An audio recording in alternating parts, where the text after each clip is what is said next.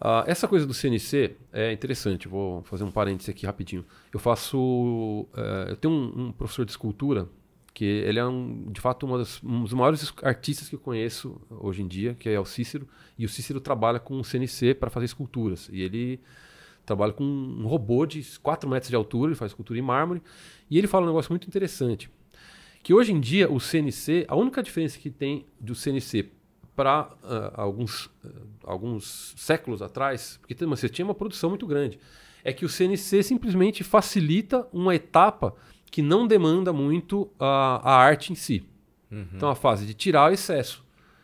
Entendi. Então, por exemplo, Michelangelo ele tinha artistas que trabalhavam com ele que eram os, os, os CNCs da época. que ia mais no começo ali. É, tiravam, desbastavam, um era- ah, esboçava o tecido, outro esboçava o cabelo. Ele ia lá, ele, a arte era dele, o desenho era dele, a, a- a composição, né, a ideia, a ideia artística era Sim. dele e o acabamento é dele. Ele responde por todos os processos.